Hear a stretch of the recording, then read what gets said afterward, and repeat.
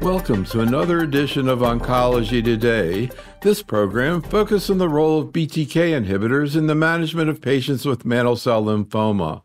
This is medical oncologist Dr. Neil Love. I met with Dr. Michael Wang from the MD Anderson Cancer Center in Houston.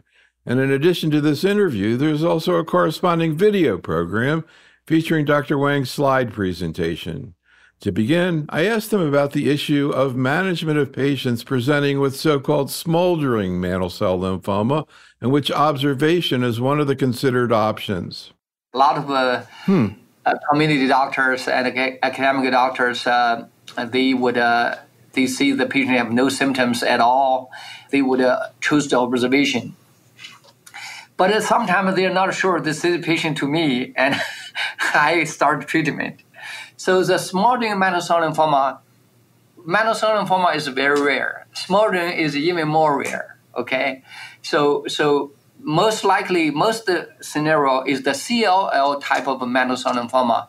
Mantle cell present like CLL. They're in the marrow, in the spleen, in the blood, but there's no lymph nodes. Okay, and those patients even have a p53 mutation. You may not have to treat them for years. But there's no criteria when to start a therapy. Usually, the patient, all the patient have significant cytopenia. They are feeling bad. Basically, here's my criteria: spleen cannot be over 20 20 centimeters. Okay, of course, you have to adjust the size. This is for a mid mid-sized man. If you have a find a small lady, the patient has an 18 centimeter uh, uh, spleen, but the patient is small and is already having problems. So you need to pay attention what are the main the spleen is the is causing symptom. What are the main issues? Early satiety discomfort from the spleen. And sometimes the spleen can ache. That's you have to make sure that's there's ongoing functions in there. You have to treat the patient early okay? The second criteria is i do not allow the wbc to be over 30 percent uh, not a third person over WBC 30 in the lymphocytosis in the peripheral blood. I do not want us allow them over over 30. Okay, 30,000 K, 30K basically 30,000. So if you allow them to go up the fatigue level, the viscosity, the PEs and the strokes, bowel ischemia is going to kick in. And the art of the treating lymphoma is to heat the, the treat the heat the lymphoma before it causes any damage or symptoms.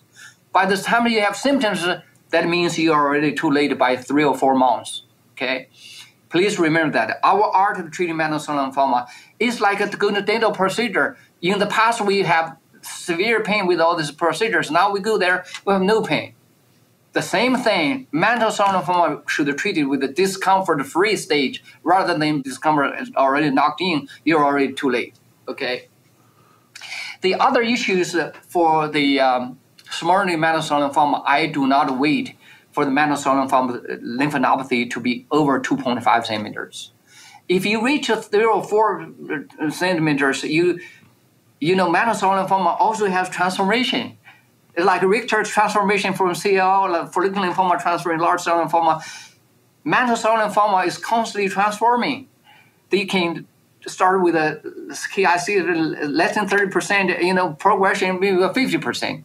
They may not have P3 mutations uh, in, in the progression, they may acquire P53. They may start with a classical nodular um, diffuse type. They may become pleomorphic blastoid in, in, the progression.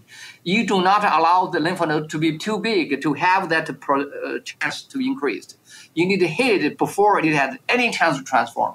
So I usually start at two centimeters. So I, I definitely do not allow it to be 2.5. I think if you do that, some of the lymphomas in in the body, it may, you know, you, you may lose the chance, right? So, so therefore, when I see this patient from the community, I usually start them with therapy. I convince the patient you cannot, okay? Uh, I hope uh, that answered your question, Neil. Yeah, that's very interesting. What about patients with GI involvement uh, who are asymptomatic? Do you ever see people who just have GI involvement and are asymptomatic? Uh, what do you think about observing them? I'm also curious. I, have heard heard a couple cases of people with major GI bleeds. What kinds of complications you see with GI involvement?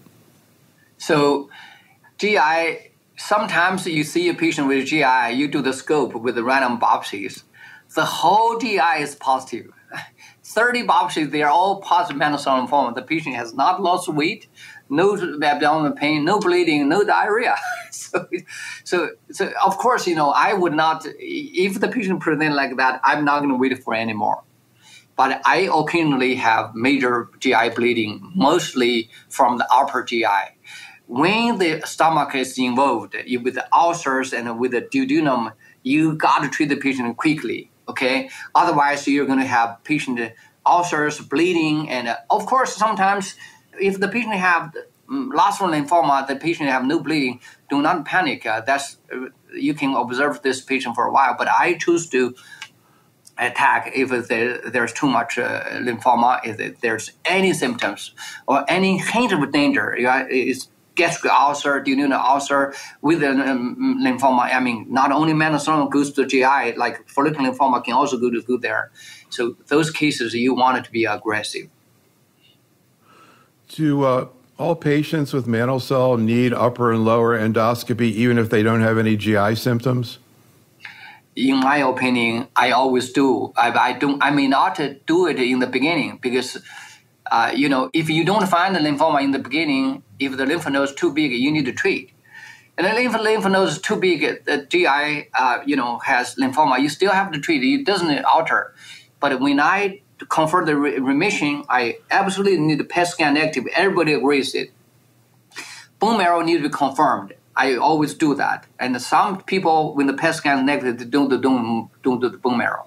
But at MD Anderson, we use the most stringent idea uh, uh criteria of CR PET negative bone marrow tape, and upper and lower GI EGD colonoscopy with random biopsies has to be all negative. Okay. Now, if the patient started with a negative colon down somewhere else, I would not do the confirmation. But they have to, in a lot of cases, they do colonoscopy without biopsies. That does not count. I still have to confirm the CR by upper and lower with random biopsies. So let's talk about first line therapy. I want to start out talking about younger patients. And I'm curious, outside of a clinical trial, how you were managing patients typically prior to Triangle, whether that changed, and how you, you would, uh, so how you're managing them today outside of a trial. And would that change at all if you had, if you could do whatever you want, put aside reimbursement, would you still be doing the same thing?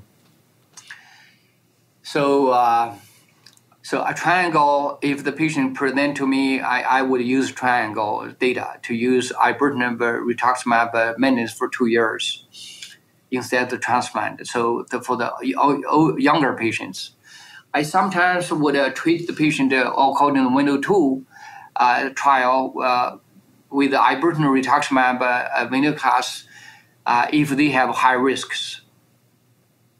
Because so far my response relapse rate is almost zero with the window two using the the so but uh, you know sometimes I would explain to the patient right? So the ibrutinib has you know associated with a sudden death associated with atrial fibrillation I would like to use the the acalabrutinib to replace ibrutinib and I already presented the data and uh, you know 90% I can get insurance approval but sometimes in other areas, uh, this may meet resistance from uh, uh, the insurance. Yeah, so basically, I I prefer chemo-free therapies for both populations, older and young, younger. So, outside a clinical trial right now, what is your again outside outside of a clinical trial? What's your usual approach to the older patient first line?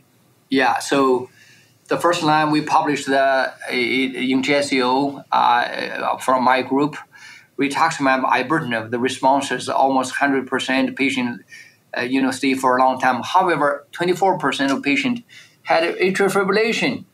So I'm no longer using that. We just presented the data uh, in uh, Lugano. We use acalabrutinib and the map.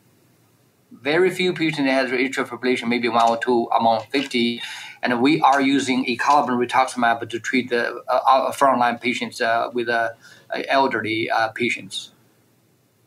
I'm not using BR. I'm not using, uh, you know, I'm using chemo-free therapies. And what do you use second line?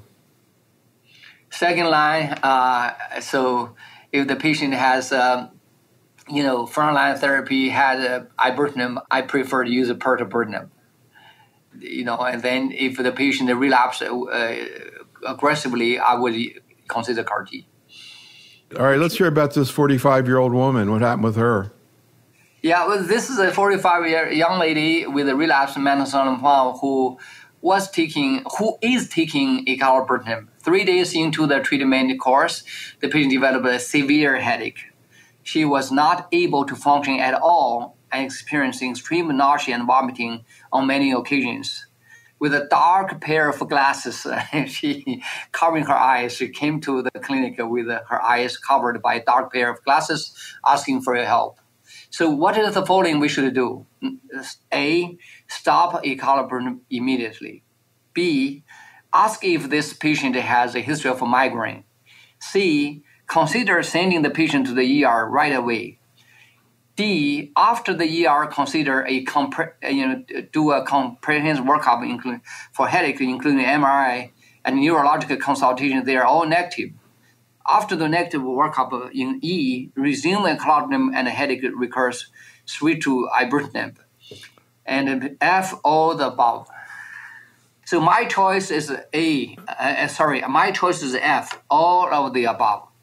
So everybody know that uh, acalabrutinib can cause a headache. The headache usually does not last more than five days, and, uh, and it, it, goes away without a dose reduction with acalabrutinib. But when a young lady with a history of migraine comes, that could become a very bad headache, and you have to stop the acalabrutinib immediately. Of course, if the patient is the first uh, severe headache, uh, no MRI done, you need to you need you need to ask the patient of migraine history. You need to if the patient has migraine issues, then the ER immediately. You have to control the pain because the pain is intolerable. Okay. It, and after a workup MRI is negative, no seizures, you know, no, no nothing, then you resume a acalabrutinib. And if the headache recurs, you need to switch to ibrutinib or zanubrutinib or even pirtobrutinib. So basically, it's all the above. So uh, you know, you hear stories about these headaches a lot, particularly with CLL. And one of the things you hear is, quote, that caffeine, first of all, that most patients are not is in kind of condition of this patient, but uh, more like, you know, more nuisance is what I've heard. But I also hear a lot of people talking about caffeine. I don't know whether that is a reality or not. Do you use that? very frequently. Uh, you know, first of all, headaches uh, in cell lymphoma is not nearly as common as CLL, but it, hmm. occur if it occurs, uh, the medicine I want to prescribe is a Fioricet. Fioricet have caffeine in, in it. It's hmm. very very effective. Of course, you know the patient can drink coffee, drink tea, and uh, it may not have to take any pills, but uh, the, the coffee frequently resolve a mild headache. What's her current status? She is uh, on uh, acalabrutinib, and uh, he got into a very good, very good PR, and with a residual bone marrow disease, I added rituximab, and uh, after rituximab, uh, about uh, two years, and she's on the once a day acalabrutinib, and I said, you know you have been on it for three or four years and I, I wanted to stop. She said, Dr. Wang, I don't want to stop. I want, I have no symptoms. I want to continue. I'm too young. I want, I don't want the lymphoma to come back. She's on a wow, that is, uh, really fascinating. So when you uh, restarted the acalabrutinib, she didn't have headaches? Uh, she did not. Yeah. Of course, you know, she, her migraine has they give her all kinds of migraine uh, uh things on the PRN basis. She know when she have a migraine attack, she would stop the drug, immediately use the uh, Imitrex and others to stop the migraine. So she has only uh, uh, two three migraine attacks that was much less severe than the presentation. Do you uh, think twice about using acalabrutinib in a patient with migraines? First of all, you know, cell is a male disease in the elderly. Okay, young lady come to your clinic is very rare. so if I have another case like this, I would prefer zanubrutinib. Another question I have is in what situations, I don't even know if you can give exactly when you can get, can you not use ibrutinib right now at all or just in the relapse setting? But in what situations are you actually using ibrutinib? For, from the relapse, absolutely, I stay away from uh, ibrutinib. And uh, in the front line, I'm trying to move away from ibrutinib the data may be looking so good, but the patient is no longer feeling confident about the drug. And, uh, and, and there's side effects. There's occasionally very rare, but the sudden death, there's severe outcomes. So that's my advice to all the people listening to this lecture and uh, try to face away as much as possible. And unfortunately, despite the data, you talked about combinations of uh, BTK and venetoclax, but what about venetoclax as a single agent in a patient who's already had a BTK inhibitor? Is that a strategy that you use? If the patient has prior ibrutinib, zanubrutinib, they were not able to tolerate it, you can switch to acalabrutinib, no problem. But if the patient had a BTK, covalent BTK inhibitor and already, you know, resistant, the response is going to be very low and it's a waste of time and money and the patient's time. And so you can consider pirtobrutinib in this case. Uh, in what situations right now are you using zanubrutinib? So, according to the data, right? So, my my second go-to is acalabrutinib because I led the FDA approval. I know the drug, and zanubrutinib, I know it well too, right? So sometimes the patient uh, prefer zanubrutinib, and uh, so sometimes I have samples. So I think zanubrutinib is a very effective drug, but it is more neutropenic uh, causing than the acalabrutinib. Another uh, question I had in general about BTK inhibitors, which is ventricular arrhythmias. I mean, we're starting to hear about it in CLL, mainly with ibrutinib, may, maybe acal, I'm not sure. What about ventricular arrhythmias with mantle cell and BTK? So, so I know that Ohio State presented uh, the ventricular arrhythmias with acalabrutinib. Neil, I, I led the trial for acalabrutinib in mantle cell lymphoma, and I used it very often, almost daily. So in the past two since the approval 2017 to now, this, these six years, zero ventricular rate uh, arrhythmias from my experience, of course, in mantle cell lymphoma. So second case, 68-year-old uh, gentleman who originally came from Santiago, Chile, now residing in Houston, came to the clinic with a suspected CLL or lymphoma. The patient's CT scan showed a spleen of 25 centimeters. However, there were no enlarged lymph nodes on the scan. Bone marrow biopsy showed mantle cell lymphoma. He was positive for CD20 and cyclin D1. SOX11 was negative for this patient. WBC is 300,000. So regular, we have 10,000, okay? So, with 95% being lymphocytes. So what therapeutic choice would you choose? A, leukapheresis thing, ibrutinib and acalabrutinib or pirtobrutinib. B, leukapheresis followed by rituximab followed by bendamustine. C, leukapheresis followed by R-CHOP. D, chest CT with the angiogram to rule out the PE following by rituximab. E.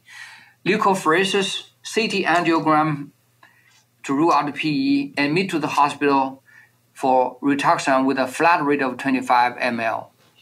When WBC is less than 50, then ibrutinib uh, or other BTK inhibitors. You know, oftentimes we observe the patient uh, with a CLL type.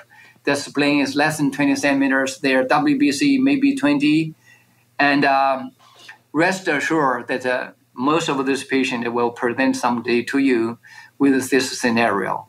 I already told you in the lecture that I would use a cutoff of 30,000 uh, lymphocytosis.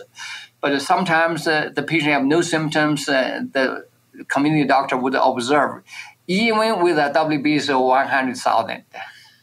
okay, so that now this case is, is came from the community this case was he was never seeing me. No, I first saw him 30k, okay, and he was fine. He was functioning fine, but uh, I did uh, like a, a PE uh, protocol, CT scan angio. He has a saddle PE, okay, he probably had this PE for a few years because he's a he's accustomed to it. Okay, and he was short of breath, but he didn't even realize he was a respiration 20 to 25. He become his normal routine for several years, right? So we leukapheresed him. This case, you absolutely cannot give him any BTK inhibitor so you can kill the patient. Why? Remember, most BTK inhibitors, including the, the pirtobrutinib, they cause compartment shift phenomena. 70 to 80 times percent with CLL and 30 to 40 times in with MCL. So if you give them more, he's going to have a stroke. He's going to have a, a bleeding in the eye, you know, more PE, and please don't do that, okay? It's, you need leukapheresis sometimes more than three times to reduce the WBC to a safe level. Okay.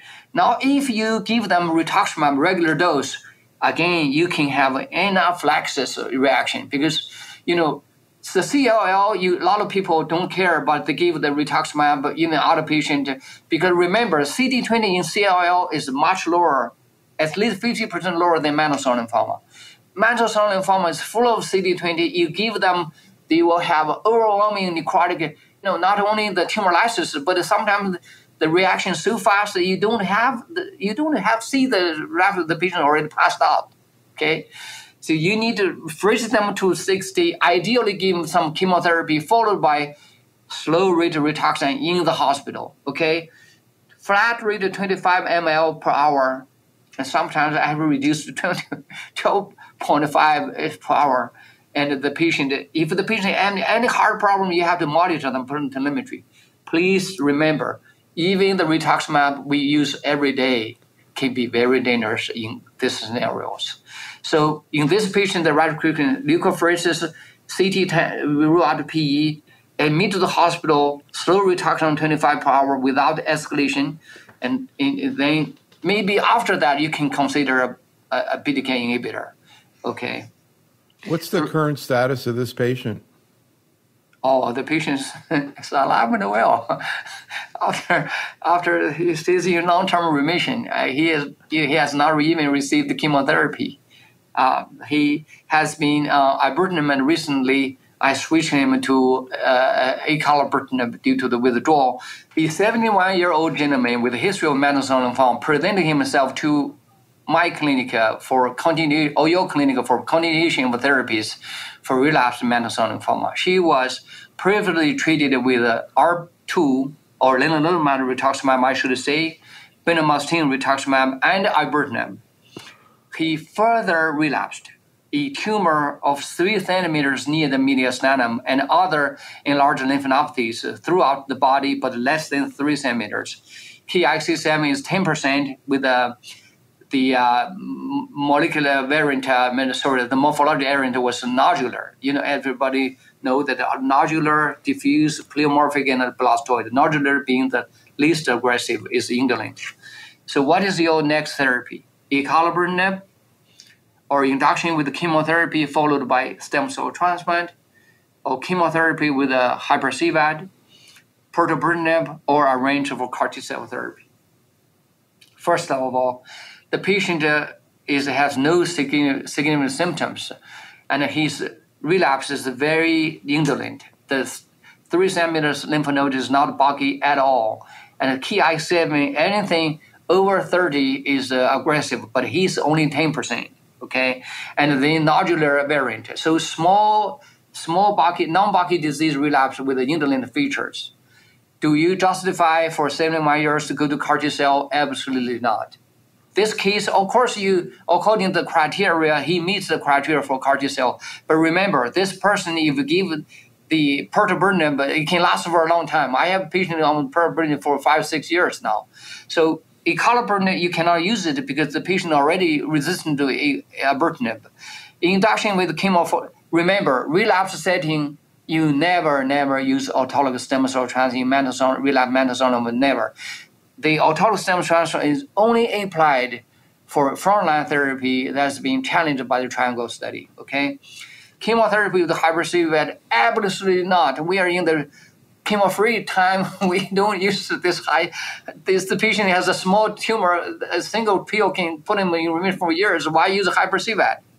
So pirtobrutinib would, would be the answer. So, so this happened? patient, a lot of patients would use CAR T cells. I would argue, please don't. This is a very small tumor, and it, maybe pirtobrutinib by him three years, we have a non less toxic CAR T in the elderly patient. But don't don't do this. so that's my opinion. What happened with this patient? Oh, the patient uh, is on pirtobrutinib on the clinical trial for about uh, uh, three years now, and uh, has no need for you know still in good remission, and very happy. And uh, I think he was the patient advocate, uh, was speaking on his experience with the. So, no tolerability issues with him he said, Dr. Wang, could you give me a placebo? I said, no, this trial has no placebo. this is a single arm trial. what has been your experience uh, with CAR T, and how do you uh, evaluate patients, particularly older patients or patients with, with uh, comorbidities, uh, in terms of CAR T? First of all, when the lymphoma relapsed for three times and the Ki67 is uh, over 50%. And uh, all the patient have a big tumor. All the patient uh, has toilet pleomorphic. All the patient have p53 mutation. You need to move to the CAR T cell as soon as possible. You need to find ways to control the tumor volume to reduce the tumor as low as possible, followed by CAR T. And uh, you, you, you cannot delay CAR T because uh, other therapies only last for a few months and and and you the patient will get physical condition will get worse and worse and you will have a much worse condition when you when you delay the CAR T. So however, you know, what if the patient had a history of atrial fibrillation? That's very tough. You may want to or bleed that atrial fibrillation. I do that all the time. So my good friend, Dr. Kochenderfer, who came up with the, the uh, technology which licensed to Kite, he and I agreed that uh, if the patient has atrial fibrillation, no, no ablation, he's not good to CAR T because the, the, the arrhythmia rate is just too high. When the patient has fever, CRS, the atrial fibrillation is going to come out. So number one, the cardiac issue is always a tough issue, and you want to use the most definitive therapy to address that. And the second issue is the patient um, has kidney problems. So, so, I never had too much problem with the kidney problem. If the patient have creatinine too, I, I, I never had any bad experience with the CAR T cells. Okay. The next issue is that uh, the CAR T with the CAR T therapy, used to be the CRS and, and the neurotoxicity we dread of, we are scared of it. But now we have dramatically improved our management with the tocilizumab, you know, with the different drugs. Where the neurotoxicity is no longer that feared. But now, now the number one killer of CAR T patients is no longer CRS or neurotoxicity; it is long-term infections. Post CAR T, please measure IVIG. If the IgG is low, you absolutely need the IVIG. Okay, you need to start with monthly and gradually every other two months on that. Otherwise, the patient has died from neutropenic fever. They have died from fungal infections, histoplasmosis, JC virus, you name it. In the past, we, we said, oh, we look for the common things. We, we just keep the zebras. Now, these days, the zebras uh, are becoming common pathogens because our therapy, we think about it, the B cell, right? and T cell. The B cell, we, we have treated with three prior therapies, all containing rituximab. Okay, we our chemotherapy has diminished the patient's immune system, T cell and B cell, and then CAR T will cause, constantly B cell aplasia. this is a setup for, for infection, right? The infection, especially pneumonia, is a killer. So you have sinusitis you better kill the sinusitis because if you don't control the sinusitis early, it will become pneumonia. So this is the skills that you need to to, to acquire. That we for the patient post CAR T, you do not allow any infection to be linger on. Chronic UTI, culture it, kill it.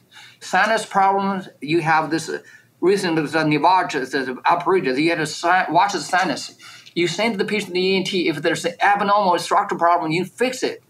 Kind of curious, uh, what's the oldest patient you sent for CAR T with mantle cell?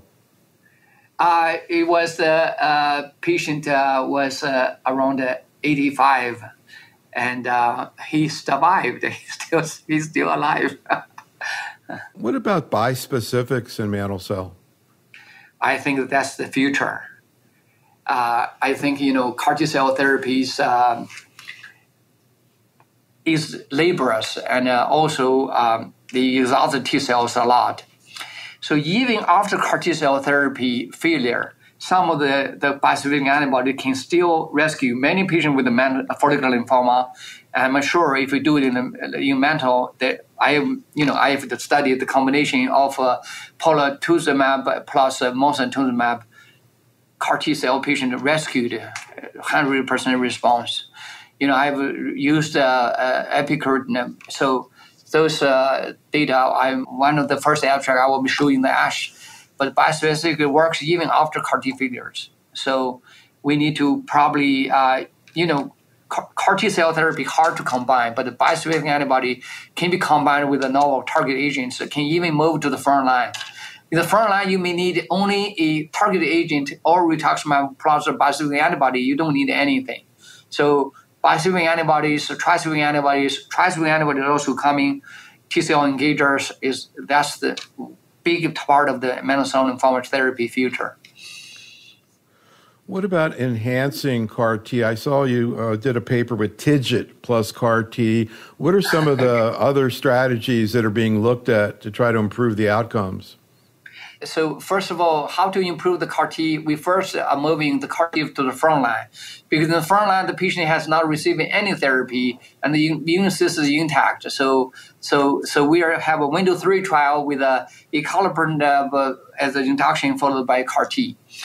And so the other ways is like you said is a per, for example we are using uh, uh, there's trials not with us but there's trials with a BTK inhibitor ibrutinib combined with a CAR T. Uh, I don't know the result. I know the trial is ongoing, and we are we are you know there's also some other centers are doing pirtobrutinib to combine with CAR T, pertubing the induction therapy during and after, especially the maintenance. Remember, the CAR T therapy, if their response rate is only 80%, you use pirtobrutinib, is going to drive to almost 100% and then it's such a non-toxic drug, and the maintenance will, you know, dramatically improve the uh, the duration. So CAR T cell can be combined with the targeted therapies.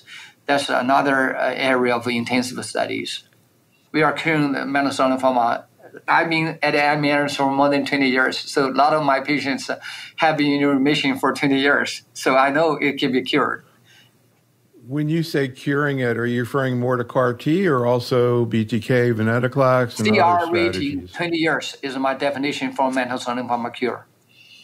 A lot of people think that 10 years for large cell lymphoma, 30 years for follicular lymphoma, for mantle cell lymphoma, you know, there's no data. I talked to all my colleagues, every agree would agree 20 years CR. I'm curious, so where, where, where the plateau is in CAR T therapy and mantle cell how it compares to the plateau with diffuse large B cell? Unfortunately, there's no plateau in, in mantle cell lymphoma. So the curve still have relapses. And so I did the Zuma 2 study. I have maybe five patients after seven years, they're still in remission. Instead of having 40% of flat rate of large cell lymphoma, mantle, remember, mantle cell lymphoma is relapsing, right? So remember, you can use our, large cell lymphoma aggressive, but R-CHOP can cure 60% of the people. You use R-CHOP for mantle cell lymphoma, there's no cure, right? So mantle cell lymphoma, the curve is still not flat. Unfortunately, that's the nature of the beast. So we are we have more challenges uh, to cure cell than large cell lymphoma. To be honest with you, you know, and uh, large cell lymphoma, it's amazing. They're 39 percent, uh, five years still 39 percent not with the mantle cell lymphoma, my friend.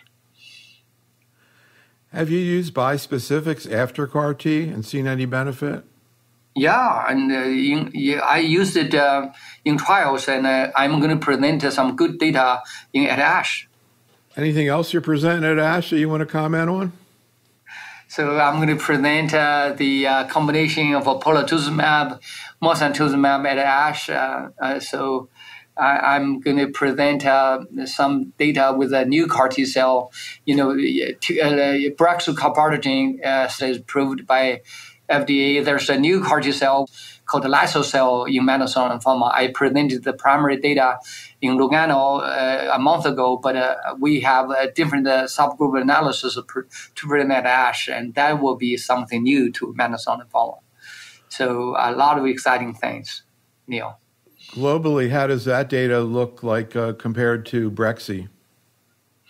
There's a severe difference between the product. The efficacy is lower the durability is lower, but the, the, the toxicity is much, much improved. I saw an interesting paper. I don't know if it's going anywhere, but I was just kind of curious on abemaciclib and copanlisib. Uh, CDK seems to be popping up in places I don't expect. I've seen it in prostate cancer. Is there any uh, evidence that CDK is useful in mantle cell? First of all, CDK 4 or 6 inhibitors, uh, because the CD4 and 6 is, one, is, heavily involved in the pathogenesis of lymphoma. So ideally, you would try, but uh, all the CDK uh, 4 6 inhibitors uh, orally have a response rate of, a single agent about 30%. So, you know, 30% for other tumors like breast cancer, huge. For lymphoma, sorry, is too, the response is too low. hmm. That's that's so, interesting. Uh, yeah. Um, you mentioned um, earlier in your talk um, another BTK inhibitor, orelabrutinib, I think yes. it was. Yeah. What's what do we know about that? Um, is that an agent that may uh, come into practice? Yeah, there's a promising data in uh, in China. This is a Chinese drug. I know is very effective. Uh, and the response rate is like near 90%. Uh, it's a very good covalent BTK inhibitor, and that may be they are aiming for. There's a trial ongoing, pivotal trial for to get a U.S. FDA approval. Interesting. I'm kind of curious, you know, mantle cell's not that common. Are there any, but you still hear about advocacy groups out there, very rare diseases. Are there any advocacy groups focusing on mantle cell? Yeah, there's a, there's a lot of people, uh, you know, we know that there's a community on mantle cell lymphoma, community. So people exchange ideas. Although it's uh, each year about 4,000 people in the U.S. only, uh, but it, you know, these people are living more than 20 years, so you could imagine the number prevalence is big. And then you think about uh, you, the Europeans even have a little higher resp- incidence than U.S. And the China, the Asian countries, less mantle cell lymphoma, but their sheer number of population. So mantle cell lymphoma across the whole world is a big health issue. And uh, so, uh, you know, that's why there's a, such a a big market, uh, you know, overall uh, the whole world globally. Any other research avenues that we haven't talked about in mantle cell that you think may have promise for the future? Well, first of all, we you know we do not have the luxury of large cell lymphoma. They have more people, more funding, more people, just more like 10, 20 times more researchers working on large cell lymphoma. So mantle cell lymphoma translational study need to catch up. So uh, I know uh, you know there's only like uh, only a few places that only do cell research. So my my lab is is catching up with a lot of sample processing. Uh, we are you know st- studying uh, the protein resistance, ibrutinib resistance, CAR T resistance, and uh, we we are trying to find new target Neil to for for cell lymphoma therapy. You mentioned uh, transform mantle cell, and I have to admit, I've never heard that until you brought it up. Um, what can you talk a little bit about? You know, is it like the you met, you referred to? You know what you see with uh, CLL and FL also. Uh, mm-hmm. How treatable or untreatable it, is it? Does it respond to CAR T or uh, diffuse large B cell therapies? There's a transformation in many layers. Uh, so we don't have a morphologic uh, like Richter's large lymphoma that is dramatic, but uh, the the once the mantle cell lymphoma initially always indolent, uh, and then the Ki67 P53 eventually it will become blastoid. It's better for now. We have so many therapies, we keep prolonging them. They would uh, transfer into a very blastoid lymphoma. You do. It looks like large cell lymphoma is still called mantle cell lymphoma with the markers. And um, you know, we recently uh, uh, some cases uh, of mantle cell lymphoma when they are terminal stage. Uh, they went to uh, they involved to the skin and you move the once the lymphoma in the mantle in the skin, the Ki67 in near 100%, they stop responding to anything. Maybe radiation.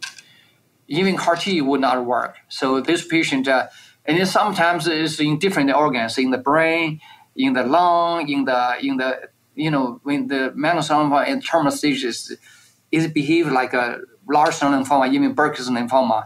No therapy would work, and this is our challenge. We need to do bispecific, we need to combine two, uh, we need to all the combination to save these people. And radiation is the main tool uh, in, in those cases. You mentioned blastoid. When you see that, does that change the way you approach these patients and any other oh, high risk, yeah. any other high risk yeah. variants that change what you do?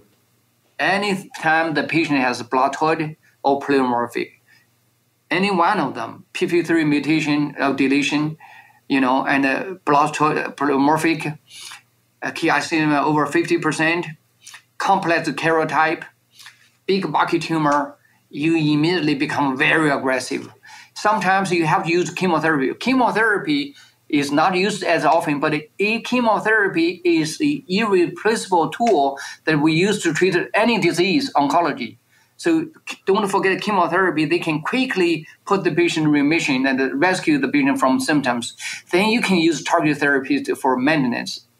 So, so when I see a big tumor, large blastoid, I the patient have not received chemotherapy, I immediately my go-to regimen is uh, this morning I have a conversation with Dr. Stephen Schuster from UPenn, and we discussed the case. He has a patient uh, progressed with all kind of things. So chemotherapy, my go-to therapy is Cytoxan, dexamethasone, fractional cytoxan dexamethasone with the rituximab, and with concurrent radiation, low dose. Okay, you only do two fractions, uh, and they, the tumor will crash. So I, I, think a lot of people are using it, and they tell me that Michael it really works. This concludes our program. Special thanks to Dr. Wang, and thank you for listening. This is Dr. Neil Love for Oncology Today.